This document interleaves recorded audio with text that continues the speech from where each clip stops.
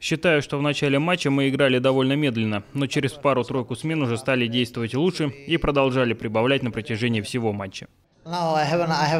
Хитрик я сегодня не оформил, потому что третий гол на меня записали ошибочно, но я рад, что забил две шайбы и что мы выиграли. Мы приехали в Новокузнецк практически перед игрой, потому что не смогли прилететь раньше из-за погоды. Но мы хорошо провели разминку и, как я уже сказал, после нескольких смен вкатились и стали играть лучше.